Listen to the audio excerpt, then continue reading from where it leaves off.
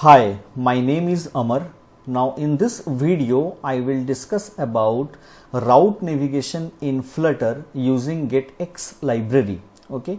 Now here in this video particularly I will discuss about route navigation for unnamed routes. Okay. Now here I have two files that is main.dart and home.dart. Let me show you the output first. As you can see this is the main.dart where I have a button go to home and to create this button as you can see I have taken a raised button and in the child I have a text widget I have written go to home okay? Now whenever I am clicking here on go to home at that time I am moving to the home screen. In the home screen you can see this is a text widget. Let me move to the home screen.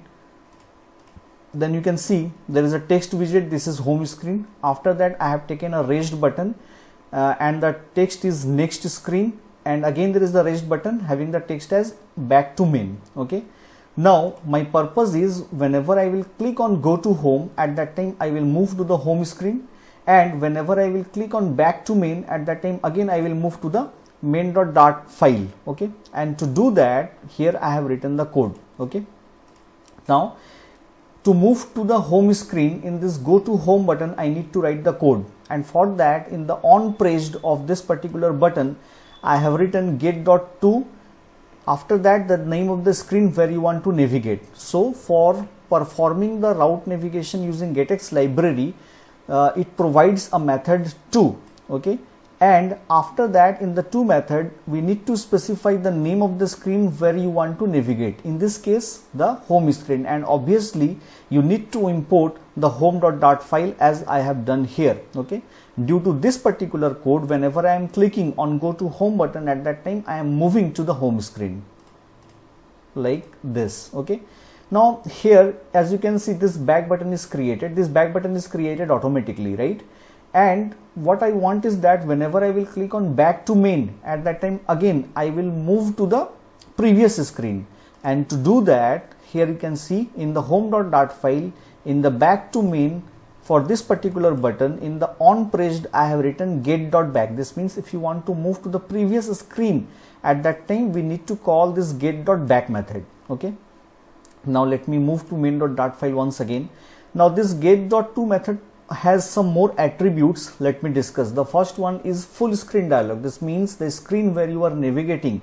If you want to make that screen as full screen dialog then we need to set this property as true. Let me show you. If I click on go to home now then you can see this is opened as a dialog and now instead of back button there is a cross. Okay? This means it is a dialog now. Whenever I will click here at that time this dialog will be closed. Okay? Now there is another property which is called as transition. This means if you want to apply some kind of animation. Here I am using transition transition dot zoom this means to apply the animation we need to use the transition attribute.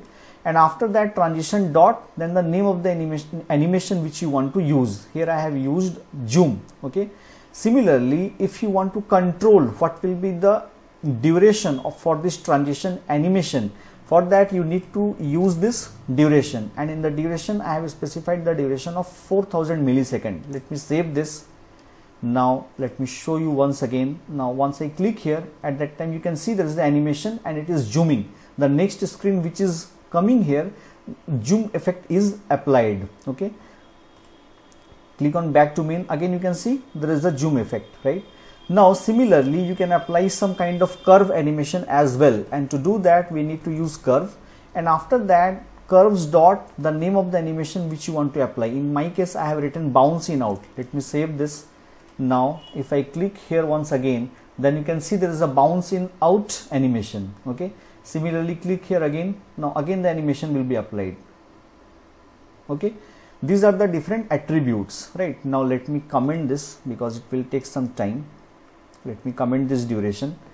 Now again there is one more there are some more methods provided by the get library. As you can see here i have written go to the home screen but no option to return to the previous screen. Now there is a method get dot off. Now whenever you are using off instead of to here as you can see here I have used the to method but if you are using off this means you will move to the next screen but you will not be able to return to the previous screen okay similarly there is a method get dot off all here you can see I have written get go to the home screen and cancel all the previous screen and routes. This means whenever you are using get dot all method then you will move to the next screen. But you will not it, it will not be possible to move to the previous screens and routes. Okay? Now suppose you want to move to the next screen as well as you want to pass some data to run, to the next screen. At that time we need to use this get dot get.to method. Let me show you and to demonstrate this what I will do is that I will comment this right? Let me comment it. Okay.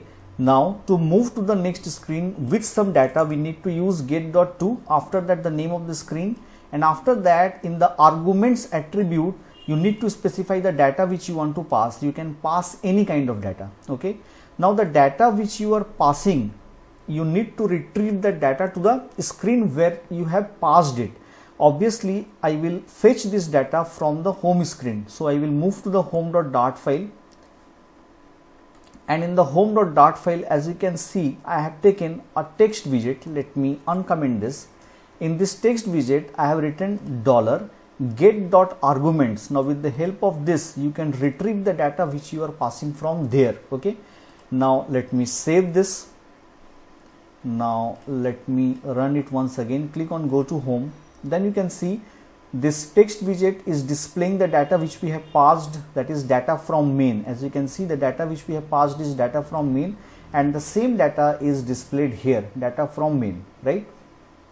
Now now suppose I want to move to the next screen and receive the data sent from the home screen. This means Suppose you want to move to the next screen and from the next screen you want to pass some data to the previous screen. For that we can use this one. Let me comment this. Now if you are commenting this, let me comment this also. Otherwise the data printed will be null. Now let me uncomment this. Now here what I have done, here I have written where after that a variable name then get dot to home this means the name of the screen where you want to move okay now here I have used await method because I will receive the data in future now since it is await I need to declare the method as async as well okay? So here I will use the async modifier. Now once I use async modifier as you can see async is added here. Now the error is gone okay? And after that here in the print I have written the received data is dollar data because the data which we will pass from the home screen that will be stored in the variable data and the value which is stored in the variable data that I will print by using this okay? Now move to the home screen. Now here in this button that is go to home go to um, main that is back to main whenever I will click here at that time I will return to the main screen and while returning I will pass some data. And to do that here you need to use get dot back after that in the result property or result attribute you need to pass the data. Remember one thing that this name must be result. Okay? Now let me save this. Now if I click here click here once again. Now click on back to main. Now go to print that is run. And you can see the received data is this is from home screen. Because in the main.dart file I am printing the data. That's why it is displayed here. The received data is this is from the home screen. And this data I am passing from where? This data I am passing from the home screen. Okay? Now this is the entire code for this main.dart file as you can see. This is the entire code